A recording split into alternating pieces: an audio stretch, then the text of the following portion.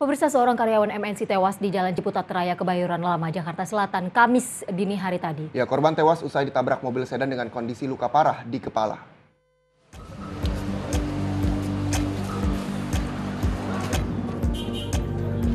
Dedi Irawan, seorang karyawan MNC telah tewas setelah sepeda motor yang ia kendarai ditabrak oleh mobil sedan Toyota Camry di Jalan Raya Ciputat, Kebayoran Lama, Jakarta Selatan, Kamis dini hari. Korban tewas dengan luka parah di bagian kepala. Peristiwa bermula saat korban yang mengendarai motor dengan nomor polisi B3418 BOO di Jalan Ciputat Raya Kebayoran Lama Jakarta Selatan. Tiba-tiba dari arah belakang mobil sedan Toyota Camry B1622 KAB melaju dengan kecepatan tinggi.